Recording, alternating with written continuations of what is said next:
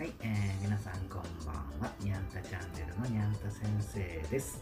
えー今回はね、えー今からちょっと熊本県のね、えーと夜景をちょっと撮りに行こうかと思います。えーということで、それでは早速、レッツゴーはい、えー、っていうとことで、えー本名寺っていうところにちょっと来ました。で今からちょっと歩いてみようかと思います。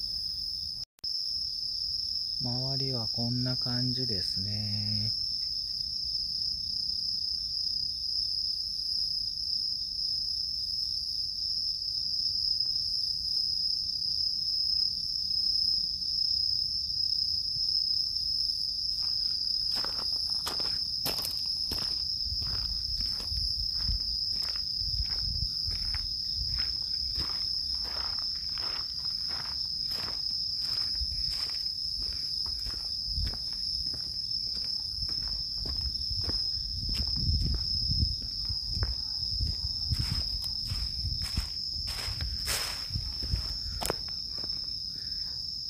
ゃん。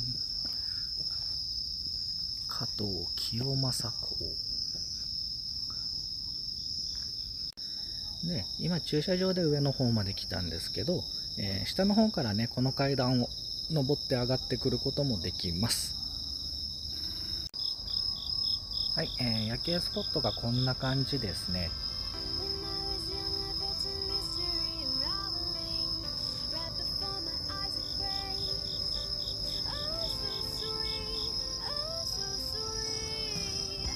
はあのじゃらんっていうなんかあの紹介のなんていうのかな情報誌ってあるじゃないですか。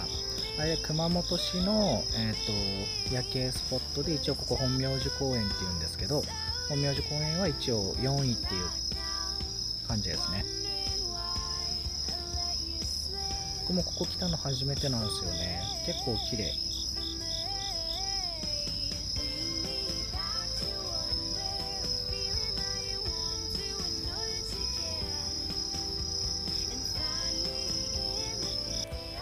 うん。暗すぎて顔が映んない。まあいいや、えーということでね、えー今回の動画はここまでにしたいと思います、えー皆さん、えー、と熊本県に来られた際はぜひ、あのーここ本名寺来られてみてください。すごく動画で見るより実際見た方が本当に綺麗なんで、えーよろしくお願いします、えーそれでは皆さん次回の動画でお会いしましょう。バイバイ。手振ってるの見えてるか